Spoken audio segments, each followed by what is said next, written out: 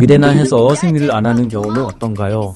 그런데 왜 피임약을 먹으면 유방암 발병 확률이 있을 수 있다고 하는지 궁금합니다. 그럼 결혼 안 하고 살 경우 어떻게 관리를 하면 좋을까요? 네, 안녕하십니까. 고려대학교 불호병원의 정형외과 교수로 근무하고 있는 서재홍입니다. 네, 오늘은 어, 대대딱 시간으로 유방암에 대해서 여러분들이 이제 질문하신 내용에 대한 것을 답변하는 시간을 갖도록 하겠습니다. 먼저 처음부터 어, 읽어보겠습니다. 여자는 태어날 때 이미 난자 기수가 정해져 있다 들은 것 같은데 그럼 야연 상태 좋아졌다 해서 생리를 더 오래 한다는 건 난자가 새로 더 늘어났다는 건데 이게 가능한 건가? 생리 일찍 시작하면 토용도 빨리 오는 거 아닌가? 네 이렇게 물어보시는데요. 아, 근데 이분이 이제 물어보시는 거에 그 문제가 뭐냐면 만자 개수가 굉장히 적게 뭐 몇백 개 정도라고 생각을 하면 이런 이런 게 문제가 될 수 있겠죠. 하지만 정성이들인 여자분들의 난서 안에는 아, 수십만 개의 난서가 존재하고 있습니다. 보통 생리를 하면서 어, 이번 달은 오른쪽에서 나오고 그 다음 달은 왼쪽에서 나오게 번갈아 나오게 됩니다. 네, 그러면은 평생에 몇십 년을 생리를 한다고 해도 난자가 나오는 개수가 몇백 개 미만이겠죠. 네, 그러다 보니까 어, 전혀 문제가 되지 않는 것입니다. 실제 난자 개수가 엄청나게 많이 있다라는 것을 이해하시면은 문제가 쉽게 풀릴 것 같습니다. 자, 두 번째 질문을 보겠습니다. 미래나 해서 생리를 안 하는 경우는 어떤가요? 교수님, 교수님 궁금합니다. 이렇게 물어보셨는데요.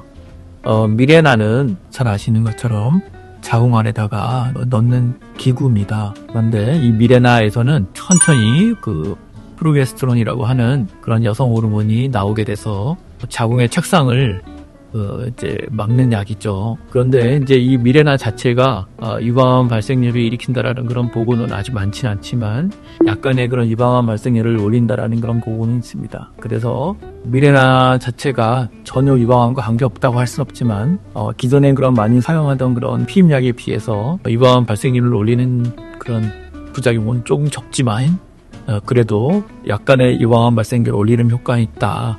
아, 이런 부작용이 있을 수 있다라는 것들을 알고 계시면 될 것 같습니다. 다음은 한 가지 궁금한 점이 있는데 야조와 같은 키임약을 먹게 되면 호르몬제 영향으로 자궁야바위 진식을 안 하고 그로 인해 생리를 안, 한, 안 하게 된다고 알고 있는데 그럼 유방조직도 같이 증식을 안 하는 건가요? 그런데 왜 피임약을 먹으면 유방암 발병 확률이 있을 수 있다고 하는지 궁금합니다. 피임약은 종류가 굉장히 많아요.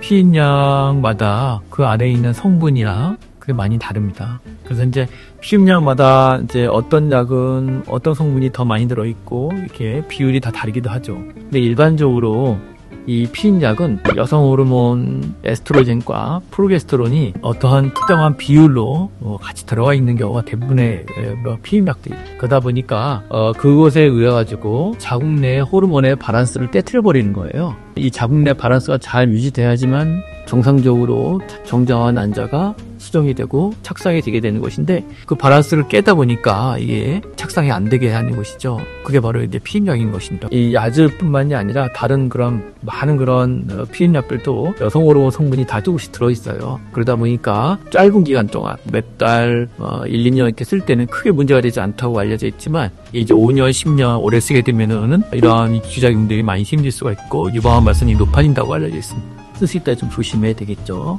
어, 그리고 어, 유방 조직이 증식을 안 하는다 이거 물어보는데 피임약 자체에 여, 성 호르몬 성분이 있다 그랬잖아요. 이것들이 유방에 있는 조직들을 성장을 자극을 시킵니다. 이제 피로 우리가 이제 이 피임약을 먹어서 생리를 안 하게 되더라도 어, 그 여성 호르몬의 영향에 의해서 어, 겉으로 우리가 잘못 느끼더라도 네, 유방의 조직이 증식하는 그런 효과가 있기 때문에 어, 그 증식에 의해서 유방암 발생률이 높아지는 것으로 되어 있습니다.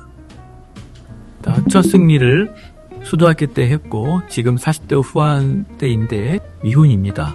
제 상황이 위험하긴 한 것 같은데 그럼 결혼 안 하고 살 경우 어떻게 관리를 하면 좋을까요? 네. 첫 생리를 초등학교 때 하셨고 지금 40대 후반이라고 하시니까 아마 어, 생리를 30년 정도는 하신 것 같은데 아직은 아마 생리를 하시는 것 같습니다. 폐경이 안 오신 것 같은데요. 어, 말씀드렸던 것처럼 이제 생리 기간이 지금 30년 이상 오래지 길고 그리고 이제 결혼 안 한 미혼인 경우는 유방암 발생률이 높아지는 것으로 알고 있죠. 그러다 보니까 아, 이런 분들은 1년에 한 번씩 유방 초음파와 유방 촬영을 이렇게 하시는 게 좀 초기에 발견할 수 있는 안전한 방법이 될 것 같습니다. 그래서 제가 추천해 드리는 방법은 지금부터는 매년 어, 유방 촬영과 유방 초음파 검사를 몇년 하는 것이 안전하겠다라고 제가 추천드리겠습니다.